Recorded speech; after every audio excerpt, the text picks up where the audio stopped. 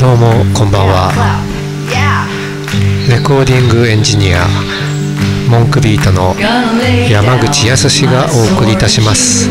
ピースバイブレーション今夜はウェブデザイナーの山下道夫さんをお迎えしてお送りいたします。道夫さんどうもこんばんは。こんばんは。よろしくお願いします。よろしくお願いしますコロナがそろそろね、はい、あの解除されるっていう話、コロナの規制がですね、はい、なんか少しほっとする部分もありますがどうなんだろう大丈夫なのかなって思う気持ちがあるんですけどいきなりですが、はい、ねまさにそんな感じの前回そうあの話をしに来た時がちょうど始まるぐらいのそうでしたね。タイミングだったんでですね。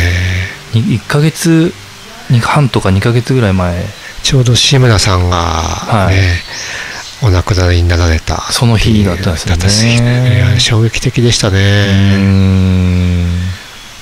でもあれから時が経つとねなんていうか僕の友達も実はあの神奈川の友達なんですけども、はい、ヨーロッパから帰ってきた時にコロナに感染してってその後びっくりしたんですけどもでも隔離されて、はい、でちゃんとちゃんとして何をしたか分かんないですけど隔離されて、そのまま元気で、でも大丈夫っていうことで今一般の社会に普通に戻ってこれてるので、はい、なんかちょっとあなんだ自分が元気だったらなんとかなるのかもしれないなっていうそんな気持ちも今最近はし始めてるとこなんですけどね、はい、いかがですか？そうですね。なんかすごいですよね。日本がこんなに増えなかったっていうのは、ね本当ですね、はい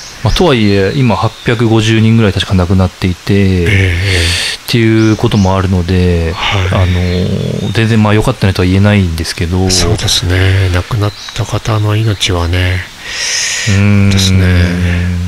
うん。まあそうですね。ちょっと引き続きなんか気を気をつけてというかあのそうですね。第2波第3波来るぞみたいなこと言われてるんですけど。そうですよね。世界を見ると収束してる部分を強くあの情報が多く入ってくる中にねあの増えてるっていう国の情報とかもたまに紛れ込んできますもんね、うん、そうですね。それがまたね回ってくる。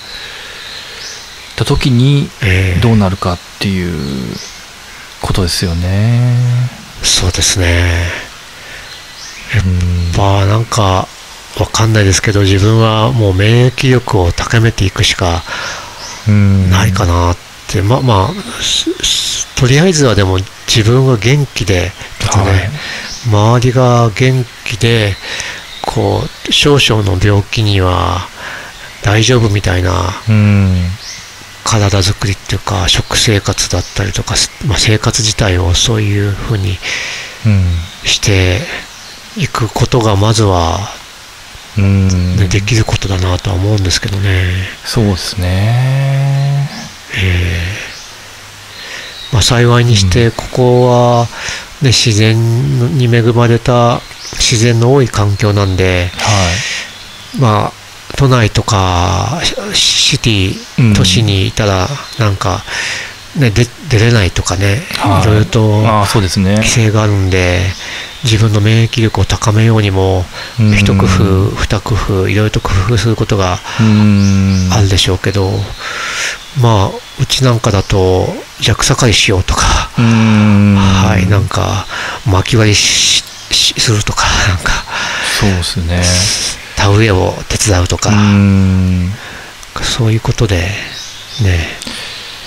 はい。なんかこれを機会にねその、はい、町からこういう田舎にというか、えー、実際テレワークでも働けるよねっていうのも分かってきた人たちもいっぱいいると思うし確かにそうですね、まあ、もちろんできない職業とかもあると思うんですけどあ、ね。えー、あとやっぱ満員電車とかね、はいもうちょっとやめた方がいいんじゃないですかとか思うんですけど。そうですね。大変ですよね。ちょっと。大変ですよね。うん。いろいろな可能性が多分また見えてると思うので皆さん。そうですね。いい方向に進んでいければいいなと思いますね。社会が社会の仕組みとかが変わっていく時期なんでしょうね。うそうですね。本当にいろいろ働き方もそうだし、はい。あのー、生活の仕方とか、はい。いろいろね、えー、気づきがあったんじゃないかなと、いろんな方が。そうですね。これ、またなんか戻らないようにはい。したいですよね、このタイミングで。そうですね。うん意識をね新しい意識とか新しいビジョン希望そこに向けての情熱みたいなもの。そうですね。うん。まあでもまだなんかいろいろ続きそうな感じはするので。はい。はい。ね気をつけつつそうですね。経済も回していかないといけないし。そうですね。うん。経済を回していかないと人々は幸せになれないんですかね？どうすかね。まあ飯食わないといけないじゃないですか。そうですよね。はい。なんかあのベーシックインカムとかそういう仕組みができればい。いのになとは思うんですけど、はい、ベーシックインカムっていうのはどういうことですか？ベーシックインカムっていうのはですね、はい、えっと、今フィンランドがどっかで実験的にやってもう研究結果出たのかな、えっと、要は、はい、例えば国民に毎月1人頭8万円とか10万円とかを支給する仕組みで、はい、まあ、その代わり生活保護とか、はい、あの年金とかもなしになるんですけど、えー、それで、えっと、働きたい人はもちろん10万円もらって他の仕事して働くんですけど、えっと、働きたくないっていうとい。うか、あのまあ、その8万円なり10万円で生活できる人たちははい、それで、えっと、自分たちの好きなことを他にやったりとかっていう、まあ、社会実験的な仕組みなんですけど、うんうん、それ確かフィンランドでやって、はい、でおおむねその国民からは好評で、えー、あの例えばいやいや仕事をするってことがなくなるじゃないかっていう。やりたくない仕事はやらないでいいので自分が好きなことをやることで生産性が上がったりとかなるほど。その生活の質が上がったりとかいわゆるその個人の幸せの価値が上がっていく社会になるんじゃないかっていう実験ベーシックインカムですね。へはい。本当に好きなことに没頭していくとそれが社会とつながって喜びにつながって豊かな生活につながっていくっていうそんなビジョンを教えてくれた方がいたんですけど、はい。えー、あちらの北欧の方々の北欧の国々の政策って、はい、なんかちょっとあれですねなんか引っかかりますね、いい意味で。そうですね、まあ、税金めちゃめちゃ高いらしいんですけど、あそうなんですか、はい、でもそれはもう、なんか当然みたいな、ええ。っと、自分たちの政府を多分信用してるんですよね。なるほどね、えっと、国にお金を貸しているみたいな、なね、預けているか、国にお金を預けてるっていう意識らしいですね。はい、なので、まあ、病院ももちろんえっと、教育もただだし、えー、その自分にお金がなくても、えっと、国がちゃんとサポートというか、はいえ。ー、セーフティーネット引いて生きていけるっていうなるほど。そこの信頼性がめちゃめちゃ担保されててなるほど。だから多分できることだと思うんですけど。うん。どこでしたっけ？フィンランドだったかな？あの女性が大統領？しかも30代の若い方ね。どこはい、どこでしたっけ？バゼット海のに面したどこかの国だったと思うんですけど、はい、その国の、ね、内閣ってその30代ぐらいの女性が結構多かったりしてでそういう投稿をねあの見たんですけども、はい、あのもともと例えば分かりやすくっていうと地域のあの組合っていうか地域のあのこの辺でいうとあの区区の集会とか、はい、そこで集会の班長さんとか、うん、あの議長さんとかそういう方がそのままあの上までつながってるっていう感覚。あなるほど。もちろん全員自分の仕事を持っていて、うん、あの仕事を持っていてプラスアルファの多少の経費であのそういった重役っていうんですかね、うん、あのを担っていくっていうそういうやり方なので、はい、本当に皆さんもご苦労様です。ありがとうございますって素直に言えるような状態が大統領までこうつながっていってるっていう。なるほど。ああいう仕組みはなんか日本とね、全然かけ離ね今は何でしたっけ？あのかけ麻雀のこととかね、はいはいはい、問題になってますけどああそういうことが起きづらいですよねそういうのってね。そうっすね。うん。そのあたりとかまあいいんですけどあのウェブ、ね、せっかくですからウェブデザイナーの道代さん、はい、的なこの視点で、はい、まあ、ウェブ業界っていうのはど、ね、これからどんどん、ね、今もお忙しいでしょうしでどんどんこう見え方がちょっと普通の方よりも先の方まで見えてるんじゃないかなと思うんですけど、そんなことはないと思いますよ。あそうですか、ね、そんなことはないですはい、はい、どんな感じですか？最近どうですかね。もうそう黒川さんの話で言うと、あのさっきちょっとお話ししてたんですけどあのツイッターで、えー、っと著名人の方たちが反対活動をして、でそれに押されるような形で、まあ、今回、えっと、定年の年齢の法案が通んなくなったっていうことがあったっていうのは、一つツイッターとかのきっかけでそうですね。一つなんかインターネットのパワーというかそうですよ、ね、がなんとなく根付いてきたのかなっていう、うん、今までってやっぱなかなか声が届きにくいっていうか、ね、テレビでも出てこない情報だしね。そうですね。あとやっぱ国会の前とかでデモされる方とかももちろん大事なんですけど、えー、そうじゃなくていわゆるこう普通の人というか、はい、あのサイレントマジョリティと呼ばれているような人たちが、えー、まあ、ネットを使ってなんとなくそれちょっとやばくないみたいな、えー、やめてくださいよとか、えー、っていう波が一つ起きたのかなっていう感じはしますね。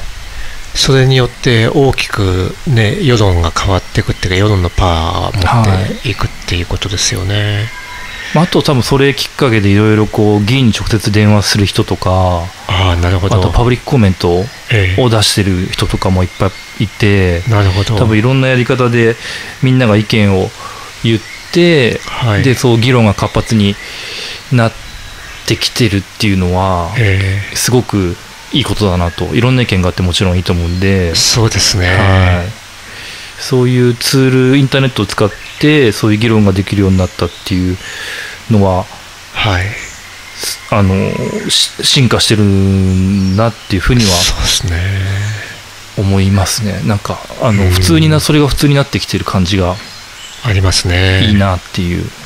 はい。つながっていくって新しいつながり方っていうか、うん、昔は考えられなかったつながり方ですもんね。ですね。まあ SNS が結構もうトゥーマッチで、ええ、あの SNS 疲れとか、はい、あのもう誰でもやってるし、ええ、Facebook なんかおっさんたちばっかじゃないかみたいな感じ、はい、ダサいねとかって言われてるんですけど、はい、でもそれが普通になったことでこういう大きい波が生まれやすくなってるのかなとかっていうこともあると思うんでなるほどですね。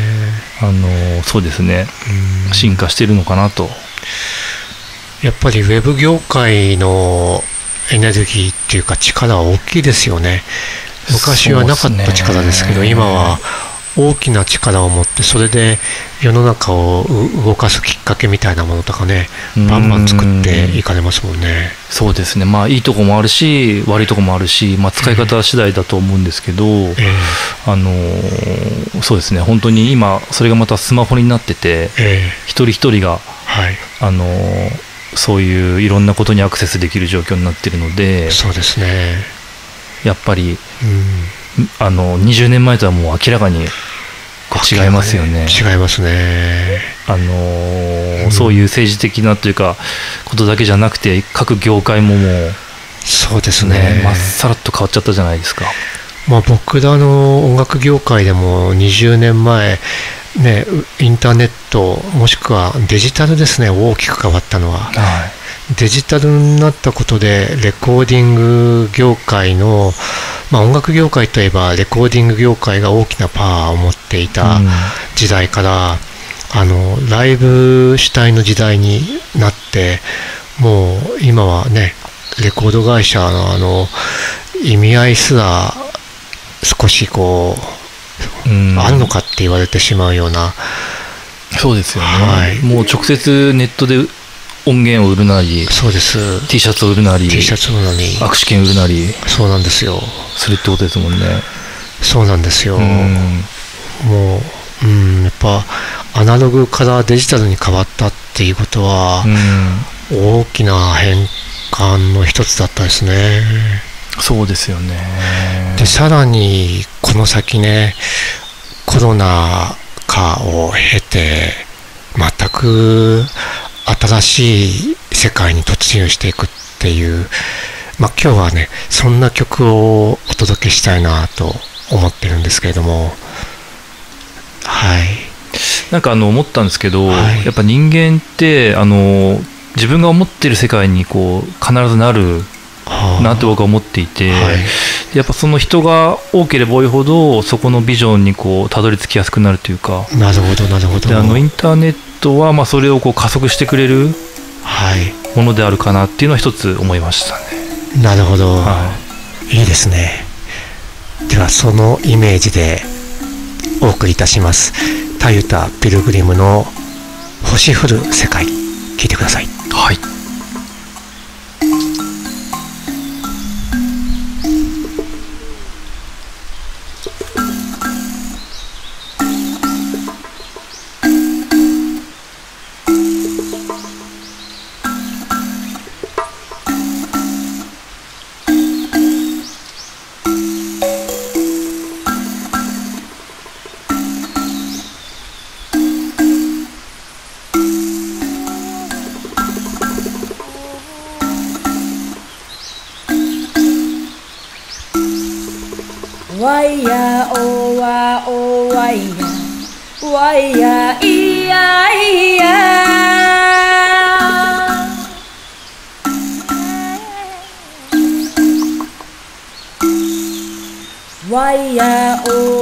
ô quay ya quay ya ia ia.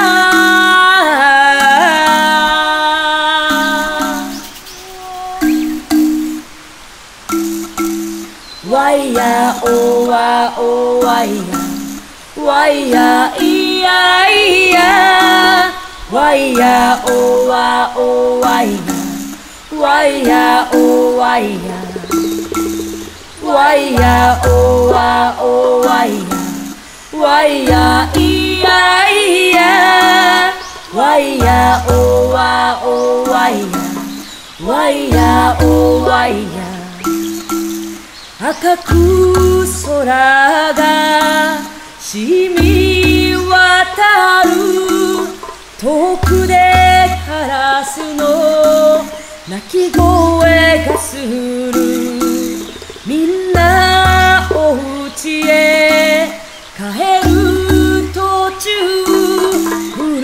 里の歌を口ずさむ夜が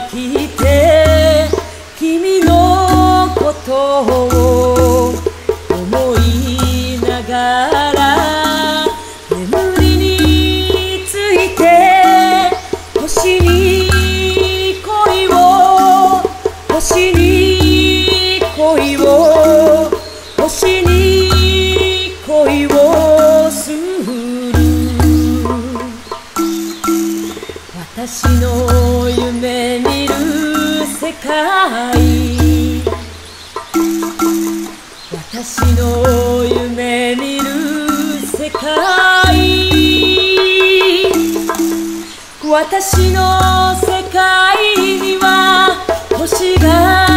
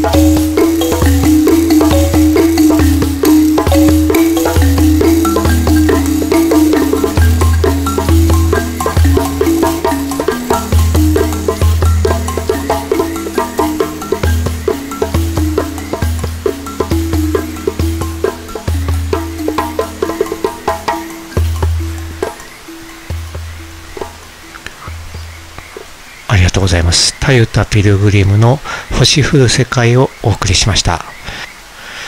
新しい時代がなんか、うん、うん、心強い感じになってきました。はい。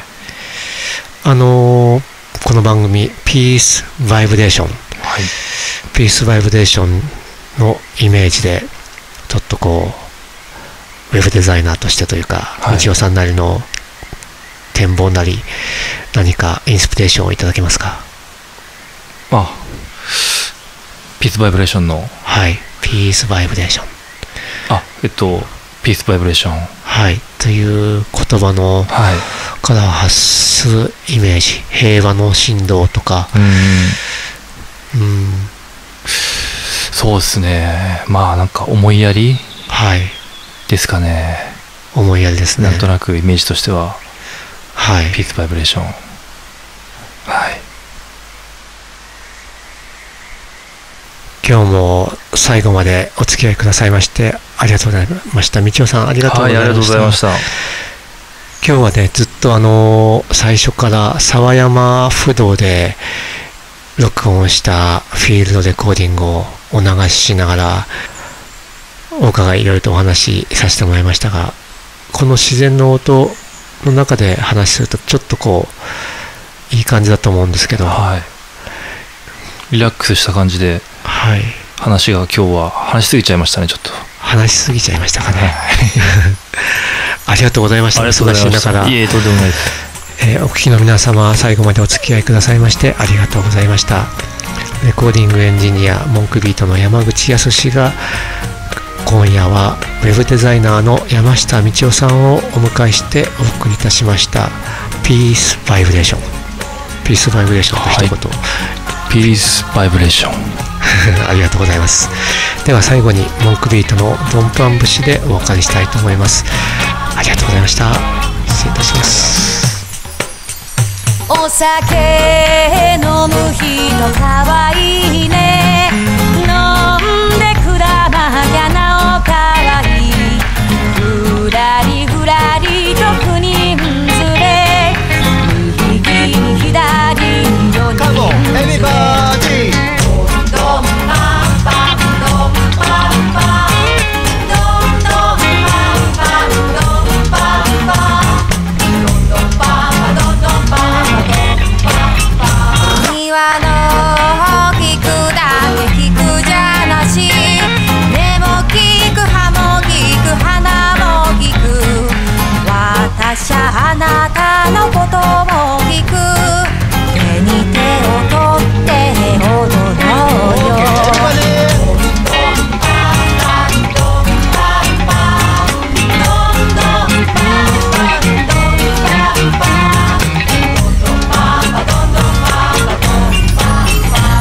別れの夜は泣かせてよ。